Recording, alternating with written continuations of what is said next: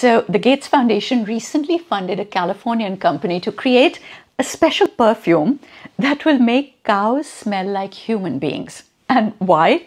It's actually a malaria solution. Apparently, cows can't get malaria. So, the idea is to get the cows to smell like human beings so that the mosquitoes will go off and bite the cows instead. And apparently, if they can add some insecticide to the perfume, it'll also kill the mosquitoes at the same time. So, it's a win win all around. But I was actually thinking, just how sensitive mosquitoes are to perfume. I mean, we use citrus oils to change our smell so that mosquitoes don't think that we're human and they won't bite us.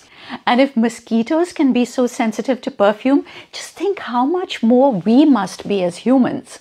You know, take it from me, perfume truly is the ultimate fantasy. It's like magic. It can transport you to exotic lands. It can change how you feel about yourself. It can even change how you react to your partner, and all with just that one little. So don't let the mosquitoes have all the fun. Go get yourself some of that pleasure in a bottle and see what perfume can do for your fantasies.